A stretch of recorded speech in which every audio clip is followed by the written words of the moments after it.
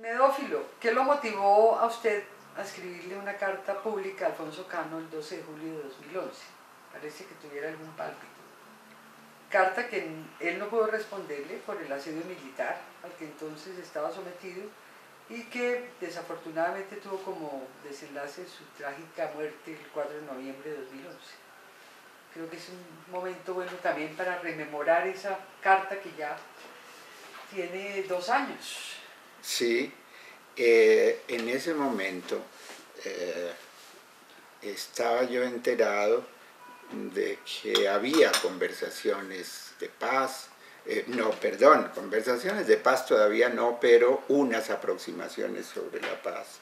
Y entendía que Cano era de los dirigentes de las FARC, de los más sensibles a un proceso de paz. Por otro lado, eh, en digamos, en una composición anterior, cuando vivía Marulanda, eh, yo insistía, eh, sería muy provechoso mirar ese factor del prestigio, la fuerza, el control que Marulanda tenía sobre eh, las FARC, el prestigio entre los combatientes, para intentar un proceso de paz. Eh, decía, ese es un escenario eh, mm, favorable, es más difícil una vez que desaparezca Marulanda, pues juntar criterios en la pluralidad, digamos, de mandos que va a aparecer yo creo que estaba un poco equivocado. Y cuando murió Marulanda, eh, advertí que se creaban otras condiciones, porque eh, las FARC pasaron a ser dirigidas por lo que llamaríamos por un primum inter pares, es decir, por alguien que no era la instancia, pues, eh, en cierto modo suprema, sino que había una posibilidad de discusión, en cierto modo, entre eh, mm, personas con mando, pero equiparables.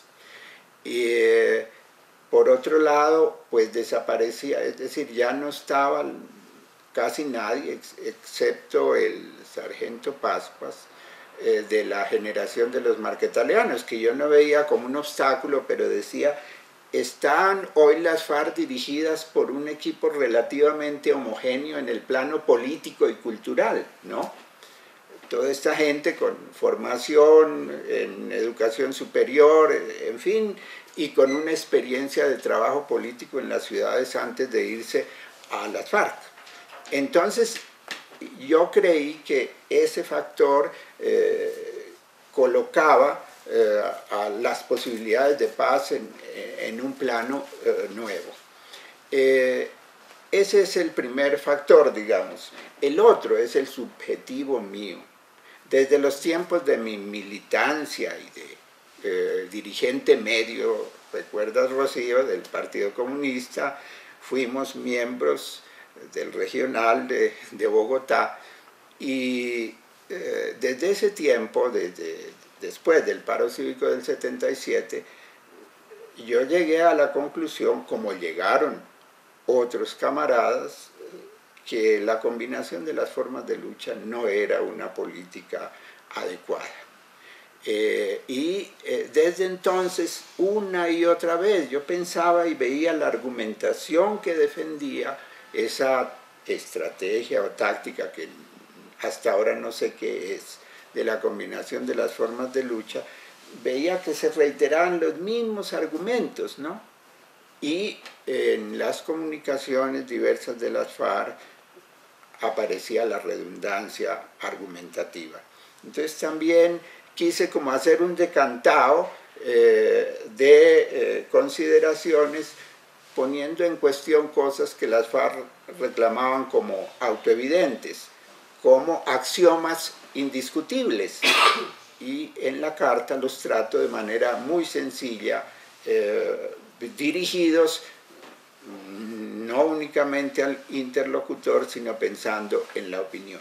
el tercer elemento, es que todavía eh, estábamos bajo la influencia de todo la, mentalidad que reforzó el uribismo eh, frente a, a las FARC, la estigmatización y ese sentimiento que llegó a permear a grandes sectores de la opinión mm, ese sentimiento de revancha, de castigo y de estímulo al odio. Entonces, cuando yo comienzo mi carta diciendo, bueno, pues yo lo que recuerdo de usted es un compañero más y lo recuerdo como dirigente universitario y todo eso es a esa persona a quien le escribo, pero no es solamente usted, Joaquín Gómez es un tipo gozón, eh, lo conocí en, en Moscú, él estudiaba en la Lumumba, yo en la Lomonoso, pero en fin, a todos, a los actuales dirigentes, los conozco, yo no me los puedo representar y no me puedo dirigir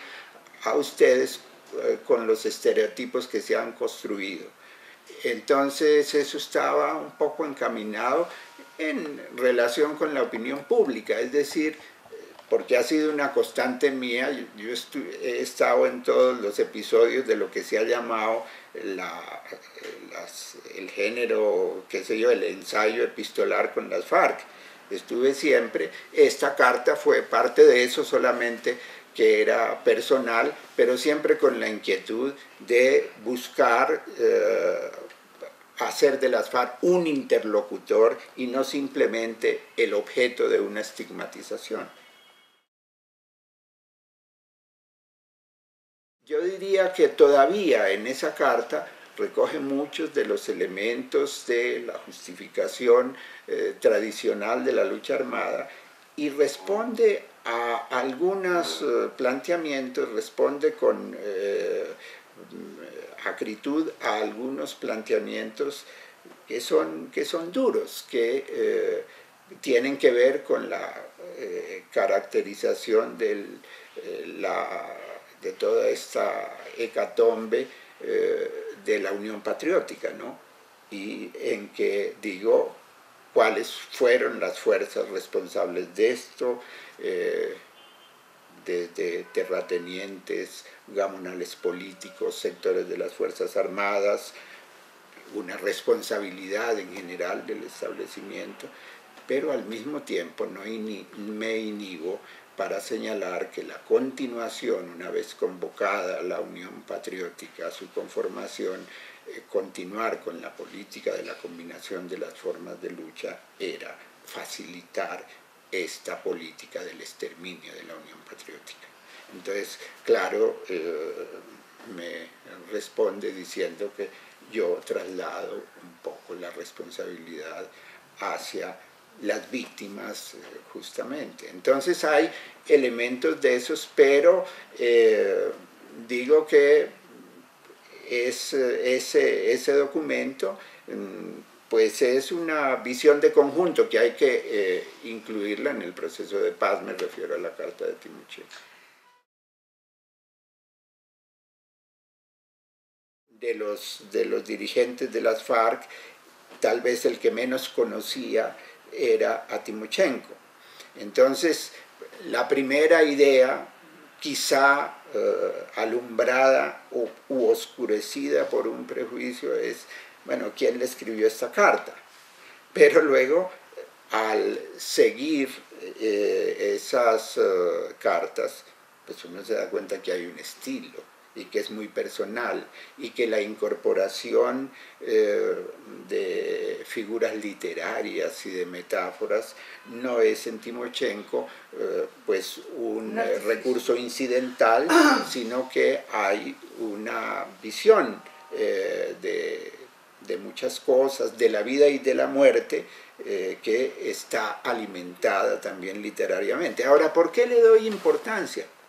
que resulta que si no se afecta la cultura política, eh, si no mm, se cuestiona de alguna manera en los comportamientos, eh, lo que yo he llamado una contrarrevolución cultural que ha vivido el país en los últimos 35 años y que ha subido en las salas del narcotráfico y por supuesto ha sido fertilizada por el conflicto interno y se nutre también de cosas que pasan en el mundo con la hegemonía neoliberal, pues si no se afectan esas cosas, la construcción de un eh, posconflicto fecundo va a ser más difícil.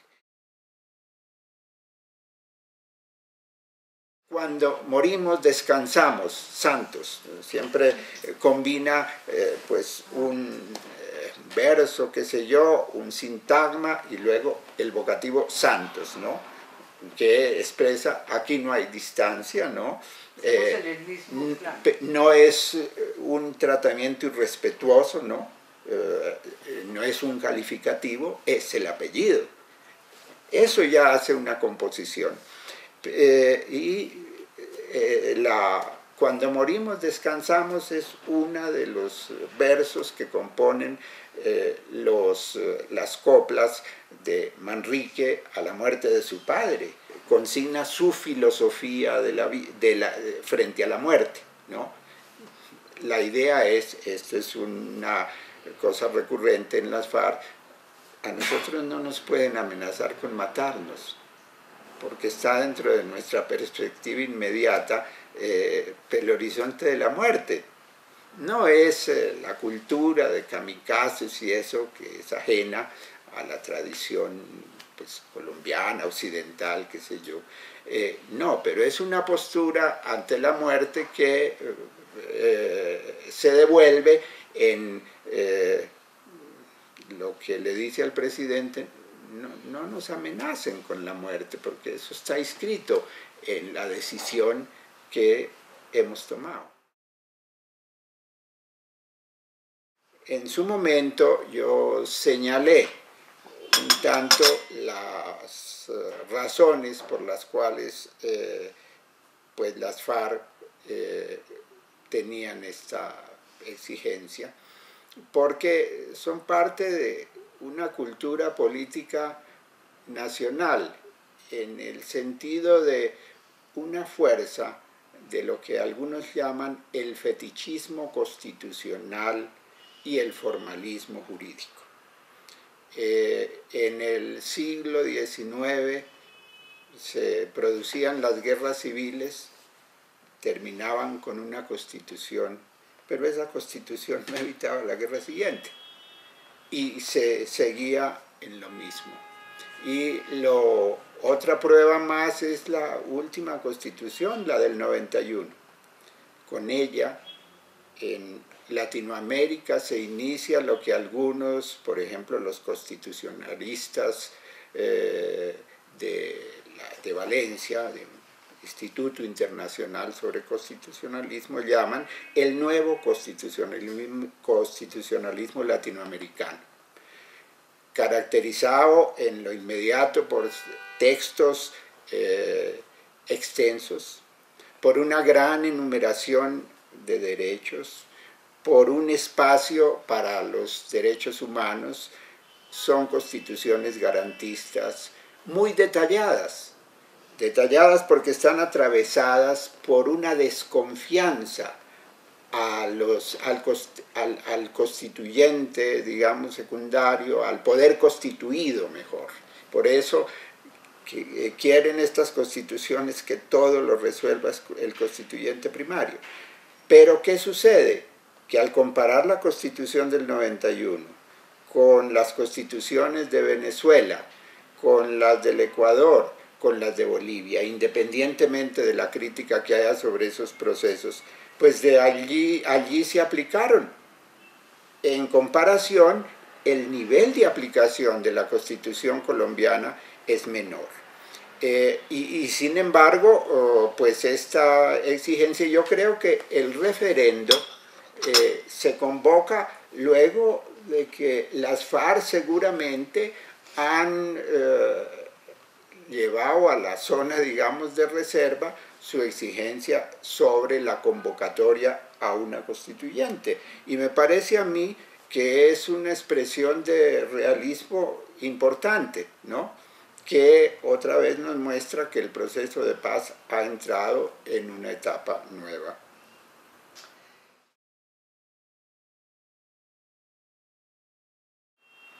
Claro, es que es apasionante estos días que vivimos, creo yo. Primero por estas decisiones políticas. Segundo, por esas luchas sociales, que son un reto para el gobierno, eh, en el sentido sobre todo de qué tratamiento les da. Nos hemos quejado del tratamiento que les ha dado, que primero se manda a las SMAT, y luego se ensaya la política.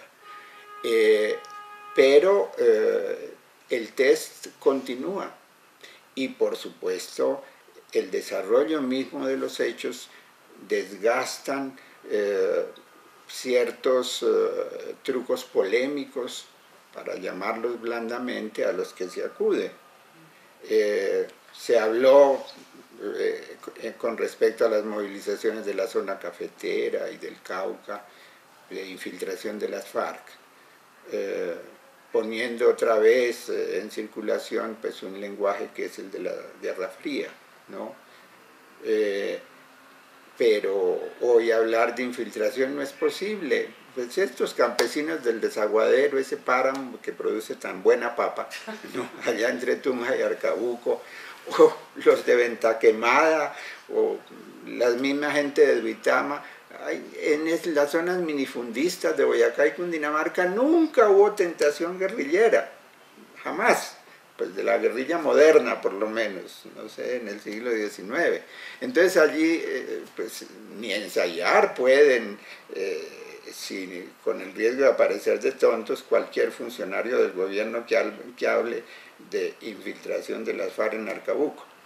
Entonces, eh, creo que esta, y por otro lado la importancia, la envergadura que han tomado esas eh, movilizaciones, el impacto que han tenido, es decir, eh, cualquiera tiene que abocarse al hecho de que la cebolla cabezona cuesta el doble en Corabastos y seguramente se sube al triple en los expendios de los barrios. ¿no?